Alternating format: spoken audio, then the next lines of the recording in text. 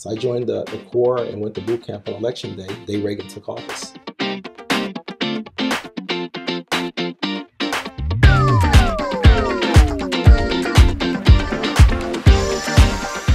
Today I'm getting to interview someone that I've known for a very long time. We're like kindred spirits. Every time I see him, the vibration's really good. And he's going to be teaching me a lot today. He's going to be telling you a lot today about himself. And I'm sure he hasn't done that with a lot of people before, but he's granting me this privilege of telling me a lot about himself. He has one of the nicest look, looking fros that I've seen, and I know he's meticulous because I've seen his office. First of all, I saw his fro, and I knew the man had to have his act together because you got to do that every day, right? Without any further ado, let's talk with Eric. Thank you so much for being on the podcast in your office, in your place, Black Tokyo. Now I don't know if the edit is going to be high enough for you to be able to see that, but above us is his podcast, right? Yes. Called Black Tokyo. Black Tokyo, yes. All my social media, Black Tokyo. And um, I want to say thank you. Um, you've asked me um, a while back. Asked you three years ago. I've been asking you the time. You're always too busy, too busy. But I can see why you're busy. Yeah, and my apologies. beautiful office. Thank you. Thank you. You got a liquor store, grocery Yes. store, liquor store, yes. downstairs. A, select shop. Yes. Everything. You have Yes. that down there, and you got your car and kicking it two beautiful sons. Thank you. Eric, my man. So Hey. let's start off with where were you born? Detroit, Michigan, Motown. Motown. Yes, Motown. And you're keeping it alive and well, aren't you? That's it. Hence, hence the fro. Yes. So what were you like growing up? Do you have do you have a lot of siblings? I'm an only child. The only child. Yes, yes. Uh, mom, yes, only child. Were you raised mom and dad both together? Yes, and uh, my mom got divorced, uh, remarried eventually, and everything. But um, I, I've always had a support system. Um, even when she was divorced, um, you know, my grandparents were there to help out my aunts, my uncles, my cousins. So, um, although I was the only child, I have my three cousins, Ronnie, Donnie, and Tony. They're like my brothers. They're still You know, um, Ronnie passed away actually, and uh, he was the oldest of, of the three. Um, and, and Tony and Donnie are, are still back in Detroit. Um, but yeah, they're like my brothers. And, uh, you know, a lot of friends. Um, one of my, my best friends actually passed away, K. Nell. And, um, you know, just running around with that guy. There's just a lot of memories. So, you know, my, my childhood, uh, was, I, I think, was very good. Well, you, were, you, were you close to your father? I would say yes and no. Um, when I was younger, I was closer. Um, as I um, got older and start forming opinions, um, I was, you know, not so close. And um, as I got older, um, you know, and he was always uh, in my life. He Um, was there. Yeah, he was always there. Always, you know, I would stay at, you know, at his house, and he would take me places, teach me things, um, you know, things like that. Um, when I was older, uh, when I can drive a car, he gave me his car and I went down to, you know, Camp Lejeune, North Is, Carolina. is he still with us? no, he passed away um, as well. So my mom, my dad, my grandparents all passed away. Oh, they passed away. Yes. Okay. Mhm. Okay, so tell me, so growing up through the through school and stuff, were you more academic or were you more sports minded? Um, I would say both. Um, I was small, you know, for my age and everything, and so um, you know, very competitive. I'm competitive to this day, and um, I had speed and you know jumping ability and everything. Um, so I would uh, talk a lot of trash, you know, playing sports. Um, had a lot of kids wanting to beat me up because I was a trash talker. But you know, I could I could back up. I think with my play, wasn't the best basketball player. Couldn't dribble. Still can't dribble to this day, and everything. But I would say I was more academic, and so um, I started high school at um, 13. Started college at 16, and um, At six, so you skipped a grade. yes, and could have skipped two grades. My mom said no. Um, Wait, so- what did your mom do? What kind of work did she do? um, she at that time she was working as a cashier, I believe, Okay, and uh, my mom didn't even finish high school. Did she read to you a lot or anything, or did she? She, did, I was, I would carry around uh, a dictionary and encyclopedia, and people would give me a quarter if I can spell words correctly, and so When that did you was, start that? I think I was like six, seven, eight. If you Six, spell eight. words correctly, they give you a quarter. They give me a quarter, and so that was my thing. So I was, I was professor. That was my nickname. So I was professor, and uh, they would, you know, open a book, say this, and boom, I would spell it. But I, I carried. You, you remember the, uh, I think it was brown or red dictionary and encyclopedia that set. So my mom bought that set, Right. Okay. and those were my toys. and everything. And uh, I love to read, and so and but the dictionary was was it. Mhm. And so um, outside of having the name professor, I was teased and called white boy because of language. But it was predominantly black school you went to. I no, my school was mixed, and I was called white boy in elementary and junior high school. And so some some people called me that. Okay, well, the white kids were calling you that? No, or the black kids were calling you that? the brothers and sisters, you know, um, and it's Because Yeah. you could articulate your words. Right. And you, you didn't say that and them. well, I mean, I did, you know, you pick your your, your surroundings, right, and, Right, and your audience and everything. Right. But um, that was that was my thing. Um, I, just- I love to learn, and uh, even though my mom didn't finish high school, she's one of the smartest women that I knew. Um, taught me a lot, you know, a lot about life, right, Mhm. just in, in general. And um, and her hustle was real. Um, you know, from the jobs that she held down and uh, watching her, helping her. Um, when I was, I think, nine, when I started my business, What was your business? um, I used to sell um, plant seeds in the neighborhood. I would go door to door. Um, so But how'd you come up with that idea? What made you decide you wanted to start selling plant seeds? It was, in Outside the, of it, getting money. it was it was in the catalog, and you know you, you cut the coupon out in the back and you mail it in and all that. So I got my first set of uh, plant seeds and I sold that, and then there was another coupon or um, advertisement for shoes. So I went door to door selling shoes, and uh, started making a little bit of money, and then you know cutting grass. And when I made you know some cash and could buy some tools, had my cousins helping me, and then other kids in the neighborhood helping me. And Well, I how'd you split it up? How'd you split it up? They'd help you. I would you say, wait, so how much yeah. you get per grad? How much So, you get per line? I how think you work. Um, so, for example, if it was three dollars a lawn, um, what was it? Or three, four, five, whatever it was. But I think I kept probably sixty percent okay. because I bought the tools and, And you know yada your, yada. right, lawnmower and everything else like that. And you got the job for them. right. All And then do is when it. when it snowed, same deal. Um, my cousins, my friends, and you know I broke them off. And then the complaint was on Sundays, you know, about taking you know something to church. So I love to bake. So I used to bake pies um, and cakes and sell by and cupcakes, and used to sell those on Saturday so women can take them to church on Sunday. And so that was my hustle. You know, bought my bike, bought my clothes, and, and everything, and it helps mom out, you know, as well. And so I've always, I've always liked to sell, always. So something to. That's so, Yes. that- that's so good. Okay, so go, you get into high school now and you start finding subjects you're really interested in. Right. Where did your interest start to go?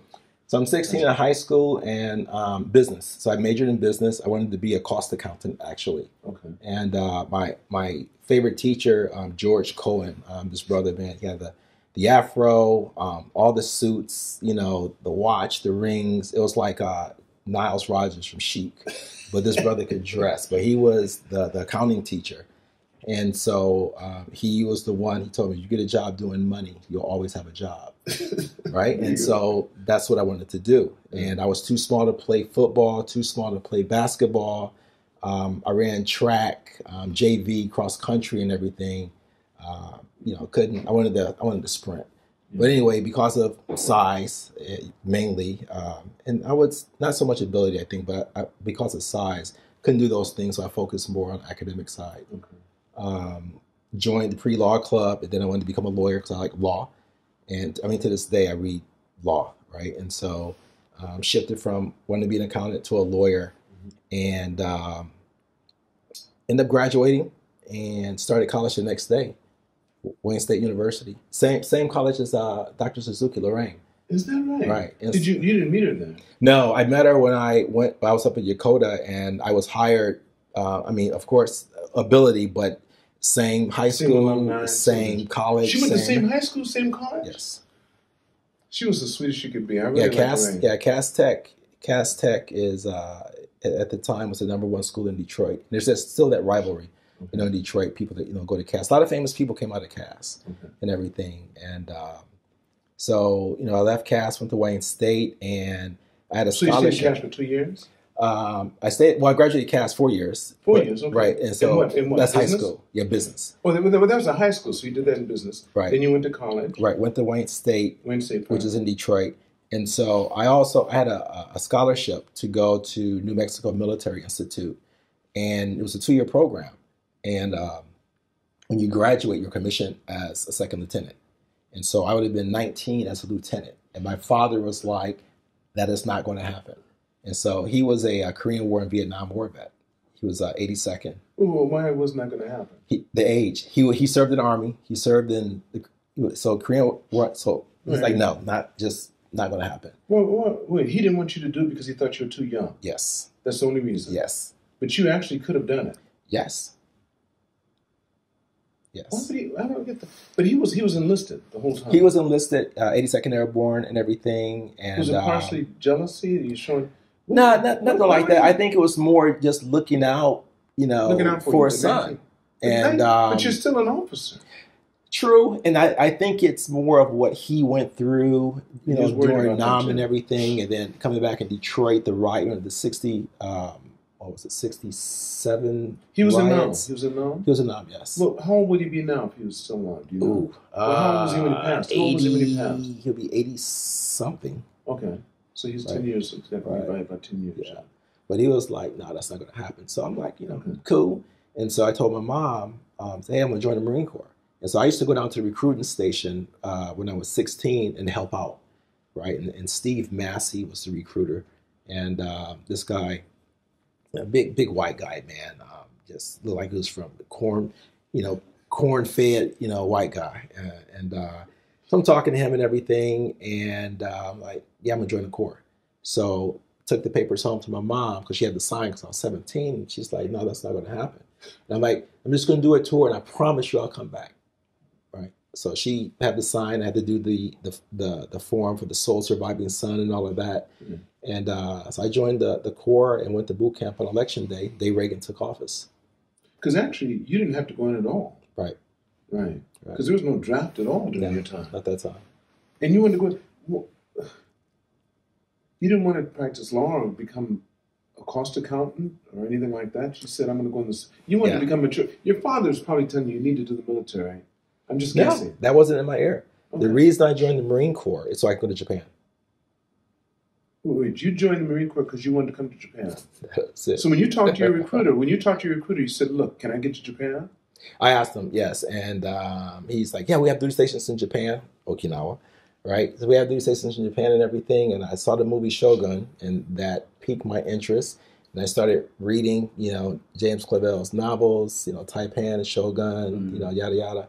And um, that's that was one of the reasons. And But none of the um, martial arts and stuff had anything. to do now with I took um, Taekwondo uh, in the Marine Corps. Um, oh, I, I did, I think, a little summer program for the Police Athletic League in Detroit. Mhm. Uh, but that was, you know, when, when Bruce Lee was hot, everyone walked around in their, their shoes and nunchucks. And I'm knocking myself out in my homemade. Man, I, I- I still remember doing this, and then the nail came off it. Yeah, I remember all that. I was that stupid kid, also. Yeah, you know. So, um, still remember me, me and my friend Kanell, man. Uh, I remember all of that. bruises and stuff, and Bruises. hit you in the side and everything else. That's it. and Yeah, elbow. every brother knew karate back That's then. right. right? Everybody, Yeah, everybody knew karate. Everybody knew karate. Well, see, I did it at a time when everybody did it, and we had platform platform shoes. I remember those. Yeah. And and the instructor I had when I was in Puerto Rico taught us. He wouldn't teach us how. He taught us how to defend, but he said, "I'm only going to teach you lethal moves." Wow. Okay. And that's all. That's what we did. And so when we went into competition, we were only allowed to block. wow. He only said something, but we could block in a way that would hurt. Right. So, like if we came down with a downward block, we'd want to Mm-hmm. hit you right in your leg, Right. but we'd be blocking. If we came this way, we'd try to pull Oh, you in. yeah. and we so the guys didn't want to hit. Right. they want to come in. So we were hitting you with our blocks. But he Nice. taught us how, only lethal moves. He said you should leave a person one or two ways. Either they should be still or they should be in convulsions. Mm. And he said the worst creature on this planet to wound is a human being. Human being, That's right. He said don't wound them. He said if you ever have to use this, use it to do what you got to do. So he said no need to teach you all these katas, which we had to do a few. Right. Right. Basic, but he said I want to teach you how to do what you're going to need to do. It's like having a gun. Right. Survival. You know, when I was younger, um, like when my mom, we moved from our, our neighborhood. Uh, I lived on a street called Indiana, and um, you know, it was for me. It was great. You know, the people on the block and everything, and um, I would hang out with these kids, man. Uh, you know, Floyd and Edward, and um, just you know Tim. I just a, a lot of great memories and everything. Uh, but then I moved, and I moved over. Uh, How old were you when you moved? I was 13, Third- Oh wow. right when I was starting high school, and uh, I would get jumped a lot. And Went to the, new place. the new place, yeah. Well, why was that? Was this a different? I, area? I, I had no crew. I didn't know anyone over there. You know, back so, in so they wanted to Indiana, make sure they wanted to make a point. Yeah, I had, you know, there's, you know, my, my guys, the older kids, Rocky and Marlon, Derek and Leonard and all these guys, man. Um, and I, like when my bike was stolen or something happened, they would go after dudes, you know, and Right. everything. So um, it was, I didn't have any of that when I moved over to my new spot and everything. So I um, got jumped uh, and I got cut from right the corner of my eye across this way. And um, With what? um, fingernail. This this this girl jumped me first, and then her cousins. Yeah, she Wait, was wait, wait, huge. They were just She was huge. they were just they were just treating you bad, man. That's bad. Yeah, What's- it, it was. You, can I make you feel a little bit better? What's that? Because in elementary school, Wendy the witch used to chase me home all the time, and she would say, "Run, spaghetti legs, run." Wow. Because I Yeah. it's like the they to- and Yeah, I, I got chased home before, you know, and everything from elementary school because I was protecting this this girl. and Her name was um, uh, her last name was Jones. Okay. and uh, a white girl, and she was one of you know, three, wasn't many at this particular school. But I remember I went out as a safety boy, and I went out and I protected. I said, "Leave her alone," and I got I got my butt beat. You like the white girl? You're protecting the white girl, and uh, you know, so got beat up. Um, got chased, ran down the, the, the street toward the store my mom worked and everything. And I remember I ran, I grabbed the door and I opened the door. And she's like, What's wrong? I said, They're trying to beat me up. And she's like, Get out there and fight. And I was Oh, like, well, she, didn't- she, she, didn't, she didn't know how many people were out there. Right. And so she came out from behind the, the I remember the plexiglass, right? And she's like, Get out there and fight. And um, I went out and the, like the kids were looking. And then she's like, Which one? And I'm like, That one. She's like, Fight him. And I fought. Did you win? No. You- you And I win. Did your mother have to pull Kid. them off for you? No, no. She she watched the kid and she, she's like, "But stop!" Right. So I went in the store, cleaned up, went back outside. I think I bought some Fritos or something. Went up back outside and they chased me. Uh, I think two or three more blocks, but two or three more blocks is where my crew was. The safety boys were. And so once I made it to Cherry Line, then it was on.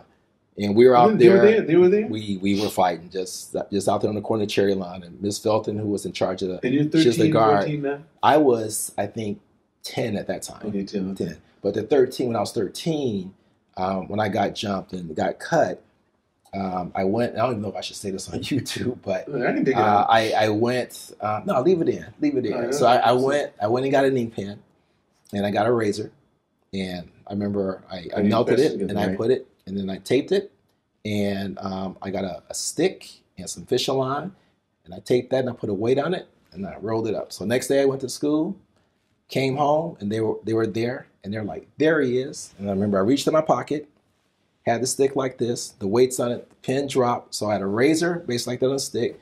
And because I used to pretend I was Thor when I was younger. Right. And first kid came and I just went and cut. And then second kid, and, I and then it was like, ah! And I just doing this in the circle, like, they just scattered. And then after that, I became the crazy little kid on the block.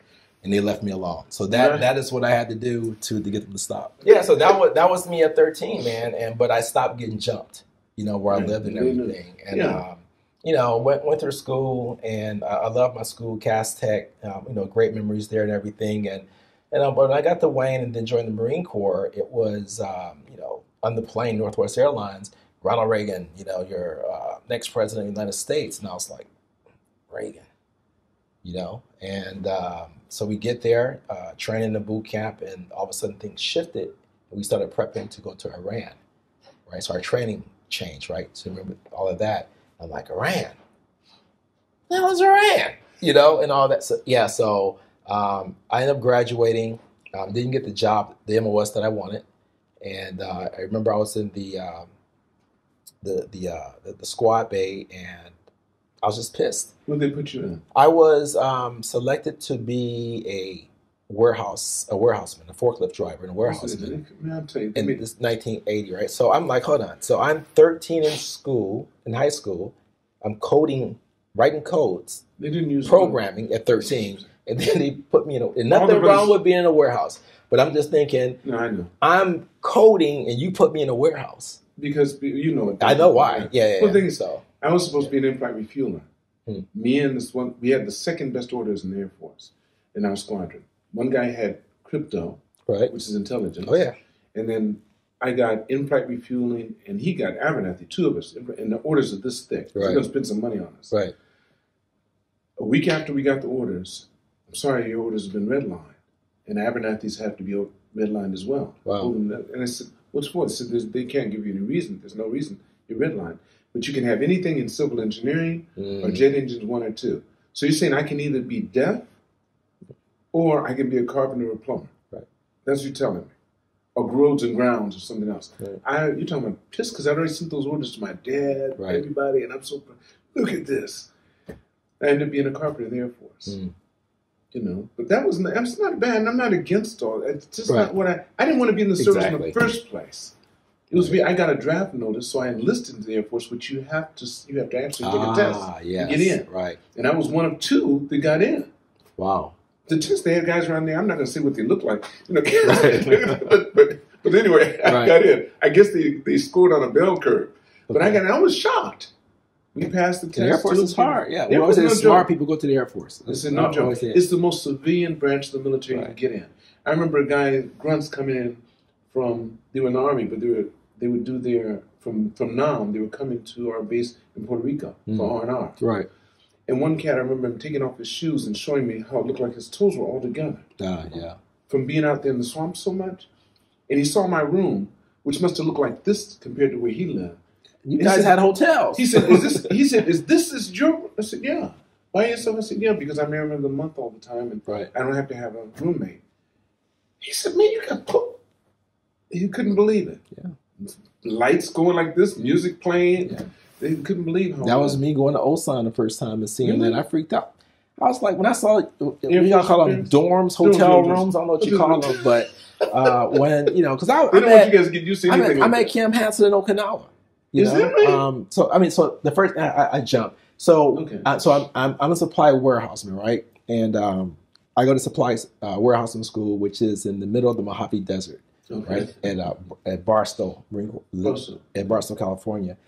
And um, I'm telling the guys, I'm like, I'm gonna fail my my final test. I'm gonna, my final prac. And they're like, what? You had to drive a forklift.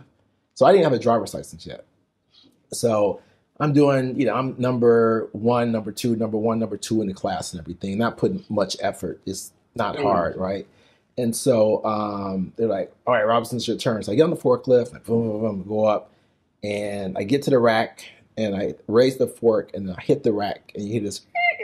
I backed it up, and then you heard, shit, he's gonna do it. So I went for it again, hit the rack, and it's like, then look at the gunny, and boom, hit it. The rack falls over, right? Knocked everything out. Back it up, put it in park, turn off the, I mean, put turn off the engine, put it in the park, and I jump off, get in a position of attention, and Gunny's like, God damn it, Robinson. He's like, you pass. And I'm like, right? And so the Marines fell out. And I'm just like, oh my God. knew He you. knew- yeah. He's like, you pass. And so um, I became uh, a forklift operator and a warehouseman. And when we got our orders, um, I had orders to Camp Pendleton, California. Right. And I did not want to go to California. I wanted to Japan. But the guy next to me, who wasn't a rocket scientist, he had orders to Okinawa. And so I'm like, where are you going? He's like, Okinawa? I said, "Ok." I said, that's the rock. He's like, what's the rock? I said, that's in the middle of nowhere. He's like, what? He said, this is Japan. I'm like, nope, nope, not Japan. Is in the middle of nowhere. I said, no one wants to go there. He said, where are you going, Robbie? And I'm like, uh, I'm going to California, baby, sunny California. He's like, oh, I got peoples in California. I'm like, what? I said, look, I said, really? I said, look, man, uh, I'm an only child. You know, if you got family back there, maybe you want to be near your family. So if you want to switch, why don't you go and You guys can do that. at that time. I said, if you want to switch, why don't you just, you know, tell, um, why don't you tell Gunny, but don't don't tell him it's me, right? Don't tell him it's me. And so he goes over and he comes comes back. He's like, Gunny said he doesn't give a damn what we do. We can switch. So we switched orders because there are no names on them. There's no names on the orders. At that time, there's no names on. So we switched. And so I got to go to Okinawa, right? So I went in the head, man. I'm like, you know, doing the dance and everything. I'm going to Japan. I'm going to Japan. And so um, that is that's how I got my orders to Japan. Uh, Yeah. And how long did you stay over here? Uh, so there were one year orders. I went uh, command Oh, recruiting. Well, only one year. I thought it was two years if you're single. Uh, this is No, 1981. 81. Yeah. This is 81. Mine 81. were two years when I came Okay. over here in the Air Force. Yeah, so I had uh yeah one year orders. I went to command recruiting, one year orders, and uh, then I went to uh, New River, um, North Carolina, Marine Corps Air Station there, and uh, I wanted to get back to Japan, and so I talked my way into getting orders back to Japan, and I think three months later, and I got caught, and they're like, nope, nope, not going to happen. You will stay here. So I'm like, damn. And so uh, one day during uh, lunch, saw an advertisement that said, "Do you want to learn a language?" And I'm "Yeah, I want to learn a language." And so I went over to Camp Lejeune, and it was actually an interview for the interrogation translation teams. And so um, I got set up for interview, and I remember light green Marine, white Marine. He asked me, "It's like, how do you feel about being the only dark green Marine in the unit?" And I'm looking at him, and there's there's um, a gunny um, Johnson, dark green, and so he's looking at me. I'm looking at him. I'm looking at the master sergeants. I'm like, how do you feel about me being a dark green Marine in the unit, right? And so like Gunny put his head down like this, and so the master sergeant and the gunnies they didn't they didn't say anything. So it's next question, and so I get out of there and I pass, and I had orders I think two or three weeks later, and I would report it to Camp Lejeune to the interrogation translation unit, and so um, my thinking is I'm gonna get back to Japan. That was it. So I got placed on the um, the Arabic interrogation team, uh, Arabic language interrogation team, and so I started learning the modern standard Arabic, and um, had some issues with it. One, I wasn't motivated, right? So they put me on the uh, Asian team, so Chinese was the next language. So I started studying Chinese, but I had a hard time with the tones, um, so that wasn't good to go. But Korean was perfect for me. So just the tones, um, I learned the alphabet, you know, and I think in a it was a, in a day I learned That's the right. Hangul. It's Right, like so I- 26 letters, yeah, something like that. Yeah, so I learned how to, to read and write Hangul uh, in a day and everything. And I had already been working on kanji because of Japanese that I studied when I was in Okinawa. And um, so we had got um, orders and we were going to Beirut. My team was going to Beirut. And so I went home on leave. And day I was leaving to report back, my mother called, you know, from the port. She's like, hey, somebody named Gunny's on the phone. I'm like, hey, what's up, Gunny? He's like, report back to Camp Lejeune. I'm like, but I'm heading. He's like, nope, report back to Camp Lejeune. So I report back, and it's like, you're not going to Beirut. You're going to Defense Language Institute in Monterey, California. I'm like, but I want to go to Beirut, right? So this is my chance to interrogate, right? Uh, and so I reported to Monterey. Um, so I'm there a couple of weeks later, get a Red Cross gram, and it's like staff sergeant walks up in the classroom. He's like, "Hey, go call your mommy." I'm like what? So go call your mother. And so that day is the day when the Beirut bombing occurred and the Marine right. So she thought I was in Beirut with my team. I team. bet. I bet. Oh man, it was it man. It See, was. That's when you yeah. start believing there's more than just what we see. Right. You know, it's out there. You think there's got to be something else. Yeah. And and we all are on mission, on missions, Yeah. you know. So. You I would know. I would have been in Beirut uh, with, right. with, with my team, and so um, that messed me up. Uh, I remember sitting in class and I was just, yeah. it- did anybody in your team get messed up? Not on my team, but I believe in the counter. sorry. But I believe in the counterintelligence team. There was one person, One if I remember correctly. Um, it was horrible, and uh, you know the Marines, of course, were stunned. Uh, Everyone was stunned, but me in particular was very stunned because I knew a couple of weeks there. ago I could have been there That's right. and everything. And so, um, anyway, so I graduated from that, um, went to interrogation school afterwards, and then reported um, back to Okinawa, uh, to Camp Hansen. And that began my journey on me, you know, deep diving into Japan. And I would, of course, go back and forth to Korea. I went to college in Korea, all that. Um, but um, that that began the journey. Now what we're going to have to do is, I'm going to stop this podcast. Yep. I'm going to I'm going to wrap this up, but I want to do another one with you called Success in Japan Okay. because we're going to have to talk about what you've done and how you've achieved your success here. You have rocked the house. Thank you. So um, there's a question I'd like to ask before I end. Yes. Before I end the podcast, knowing what you know now, if you could go back in time Yes. and meet the younger Eric Mhm. and give him advice, How old would he be, and what advice would you give him? He'd be 25, and the advice would be don't get married young. That's enough for me, man. Yes. Thank you. Yes. My man. I want to thank all of you for watching this. Never forget, it's all alone, so continue to reach for the stars. Because you're too blessed to be stressed.